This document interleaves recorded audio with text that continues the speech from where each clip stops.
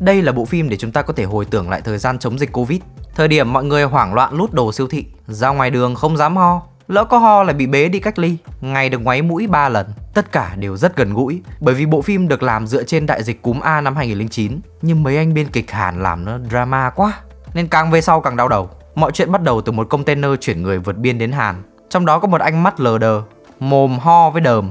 Tất nhiên cái container này quan trọng, nhưng giới thiệu qua nhân vật chính cái đã. Đây là Jigu, làm nghề nhân viên cứu hộ, tôi gọi là anh gì.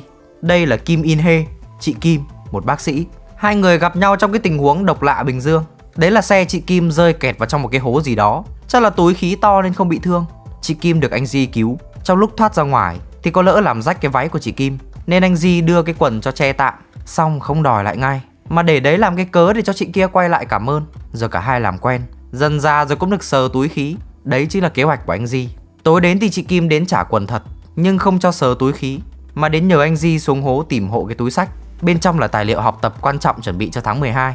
Anh Di không được húp nên là từ chối. Nhưng chị Kim thật sự cần đống tài liệu, định tự chui xuống hố tìm thì bị ngã. Thế là tức tối bỏ về. Trong lúc đó tại chiếc container, có hai anh em nhà cò đến để khui hòm. Giờ phát hiện ra tất cả bên trong đều đã chết, chỉ có duy nhất một người sống sót. Hai anh em đưa cậu bé về thành phố, vì đấy là thỏa thuận với bên vượt biên, lại còn gặp phải cảnh sát, nên là cậu bé này trốn đi mất. Lúc này hai anh em đành phải bỏ đi mua thuốc. Tất nhiên là lúc này thì chẳng có ai đeo khẩu trang, nên là thằng em tha hồ ho vào mặt người khác Mầm bệnh tha hồ tiếp xúc với mọi người. Quay lại với anh Di Thanh niên vẫn quyết tâm húp bằng được chị Kim Nên là chui xuống tìm ví. Bên trong tìm thấy được cả điện thoại. Mà đúng lúc đấy điện thoại lại đổ chuông. Hóa ra là chị Kim đã có con gái. Tôi gọi là cháu Kim. Anh Di đến gặp cháu Kim Chứng minh mình là người tốt Không muốn húp mẹ cháu. Cháu Kim thì chứng minh mình là con mẹ Kim. Thế là tiền trao cháu múc. Cháu Kim lấy được túi cho mẹ. Chú Di thì dí được cái danh thiếp cho cháu. Nhưng mà kèo thì vẫn không thơm cho lắm cái không thơm hơn chỉ có thể là bệnh dịch đang lan truyền khắp nơi. Còn ông cò em bị nhiễm từ đầu, giờ đã chuyển qua giai đoạn hành kinh từ mồm. Tối hôm đó, chị Kim về nhà, hớn hở nhận lại cái túi từ con gái. Hai mẹ con vừa mới chơi với nhau được tí, bê được mâm cơm nó chưa kịp ăn, thì chị Kim lại phải đến bệnh viện gấp. Tất nhiên đấy là do ông cò em đã nhập viện. Trong khi thế giới thì đang có dịch cúm, có một ông ho đến thổ huyết nhập viện thì phải điều tra ngay lịch sử tiếp xúc. Thế là tòi ngay ra đoạn video quay cảnh container trong máy điện thoại. Thế là xác định được dịch đã truyền vào trong nước Bác sĩ lúc này mới đến tìm có anh hỏi chuyện. Ông này mới phát điên lên tấn công mọi người. Rồi lao vào ôm thằng em trai đã tèo, Bất chấp sự ngăn cản của bác sĩ. Chứ chẳng thấy bóng dáng của ông bảo vệ nào cả. Quay lại một chút với cháu Kim. Cháu lén nuôi một con mèo dưới nhà để xe. Tình cờ lại được cậu bé chạy trốn cứu. Thấy ân nhân là người hay ho, Cô quyết định đưa đồ ăn mèo cho cậu bé. Miếng miếng khi đói thì vẫn bằng một miếng, Nhưng cũng đủ để cậu bé này ghi ơn. Và giới thiệu tên là Monsai. Thấy Monsai ốm, Cô bé liền chạy đi tìm người giúp. Chính là anh Di trong lúc đó thì số người nhiễm bệnh đã tăng vọt. Hai chú cháu đến nơi thì thấy Monsai đã trốn đi, nên dắt tay nhau giữa bệnh dịch mà tìm người. Chiếc container cũng được tìm thấy và tiến hành thiêu đốt. Một cuộc họp khẩn lập tức được tổ chức, nhưng mà chẳng ai hiểu được sự nguy hiểm của vấn đề. Lúc này thì ông này xuất hiện, nghị viên Choi, nhân vật có vai trò cốt lõi trong phim. Tất cả lỗi lầm sẽ thuộc về thằng cha này, vì nó đáng ghét. Vị bác sĩ cố gắng thu hút sự chú ý của mọi người, tuyên bố rằng phải phong tỏa thành phố này. Thế là thằng cha Choi cợt nhà chế giễu, mặc cho bác sĩ cố gắng giải thích sự nguy hiểm của bệnh dịch. Đang căng thì chị Kim đi vào báo phát hiện người sống sót trong container. Nhờ quay chậm đoạn video tìm được trong điện thoại cò em. Tên Choi bắt đầu khó chịu vì đội ngũ bác sĩ làm nghiêm trọng hóa vấn đề. Đúng lúc đó thì bên ngoài phòng họp có tiếng phanh rít lên. Một vụ tai nạn liên hoàn đang diễn ra do người dân bắt đầu ồ ạt phát bệnh. Trong lúc đó thì anh Di cùng cháu Kim đang ở trung tâm thương mại, biết được rằng chồng chị Kim đã bỏ đi. Thế là chú Di hớn hở vì sắp được làm dượng Di. Cơ mà cháu Kim cũng bắt đầu ho và mệt thiếp đi, nên là chú Di mới bế đưa về. Nhưng giữa chừng có một cô ngất trên thang cuốn nên anh đặt bé vào một chiếc ghế rồi vội lao đi cứu cô kia. Đến lúc quay lại thì chẳng còn thấy cháu đâu. Điện thoại con bé thì ông chú cũng cầm. Bé Kim lang thang ở đâu thì giờ mới biết. Tình huống bắt đầu loạn tùng phèo. Phía chính phủ bắt đầu tập trung lại. Đây là thủ tướng, đây là tổng thống. Thành phố cũng bắt đầu phong tỏa. Cô Kim lúc này mới nhớ ra đứa con.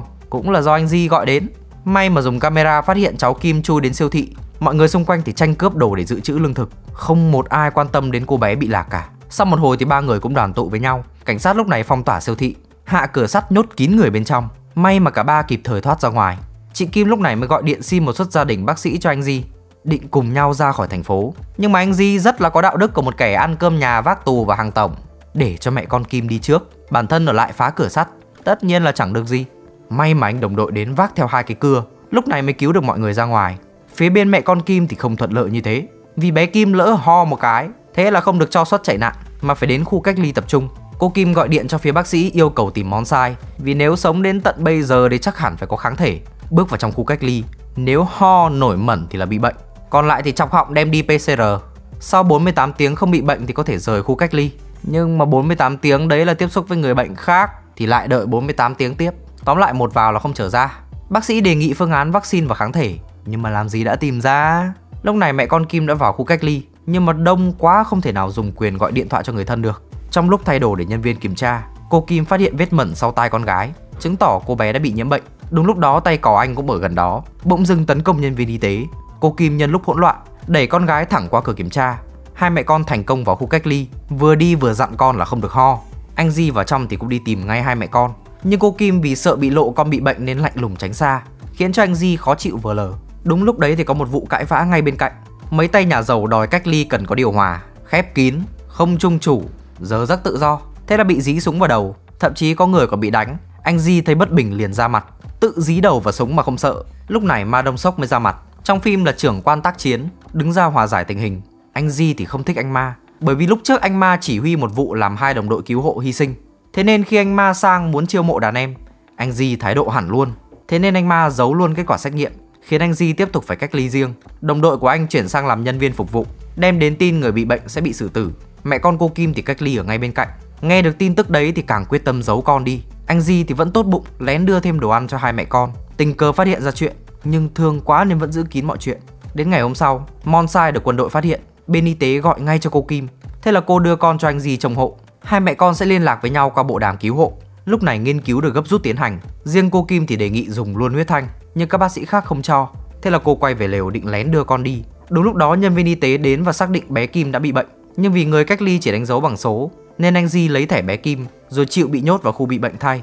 Vào trong thì gặp có anh vẫn cứng đầu phản kháng, khiến một anh bộ đội bị tuột mặt nạ. Trong lúc đó, tổng thống phát hiện bất cập của hệ thống cách ly, muốn để người dân sau 48 tiếng được rời khỏi thành phố, nhưng tất cả đều ngăn lại vì ảnh hưởng đến quản lý dịch bệnh. Duy nhất bác sĩ nhận ra người dân sẽ làm loạn nếu mãi bị nhốt, là còn bị mấy anh mẽo bên tổ chức y tế thế giới kiềm chế. Trong lúc đấy ở trại cách ly, anh Ma đã chuẩn bị tiền lót để được ra ngoài, tiện tay trả luôn thẻ cho anh Di. Người dân bên trong mất kiên nhẫn, một lần nữa bạo động xảy ra. Anh Ma định lẻn ra lúc đó nhưng bị phát hiện mắc bệnh nên không thành công. Cô Kim thì cũng tranh thủ bế con đến thẳng phòng thí nghiệm. Monsai nhận ra cô bé, đồng ý giúp. Hành động của cô bị anh Ma nhìn thấy, báo cho nhân viên với quân đội, đánh thuốc mê khống chế cô Kim, còn cô bé thì bị bế đi.